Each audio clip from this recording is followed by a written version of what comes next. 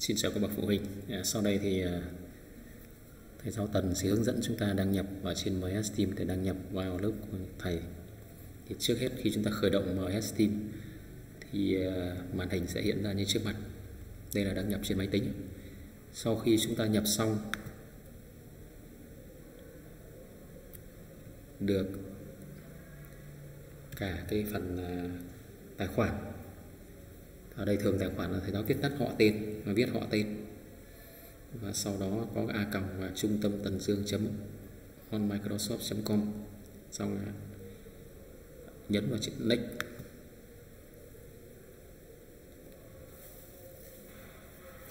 từ đây hiện ra yêu cầu chúng ta phải nhập mật khẩu.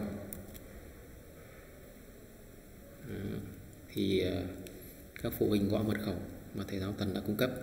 Sau đó nhấn vào.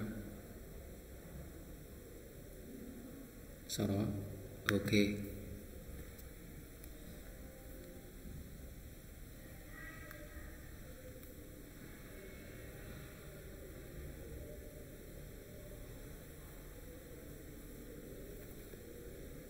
Xác nhận.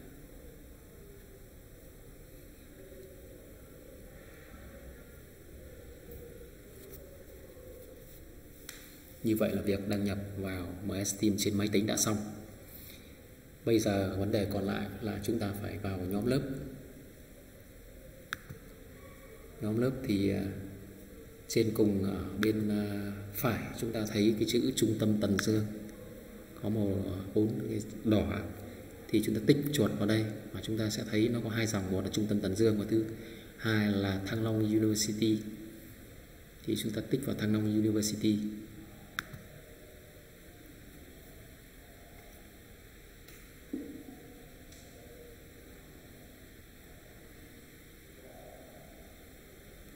thì đến đây xuất hiện là có 2020 2021 lớp 10 rồi ở dưới 10A à, khi mà đến giờ học thì thầy giáo đến đây rồi thì khi đến giờ học thầy giáo kích gọi thì chúng ta sẽ vào.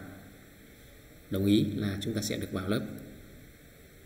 Như vậy rất dễ dàng đúng không à, các phụ huynh và học sinh thân mến như trên đây thầy giáo tuần hướng dẫn chúng ta cái cách đăng nhập vào nhóm mà đã được thầy giáo thành lập. Chúc mọi người thực hành thành công. Xin cảm ơn.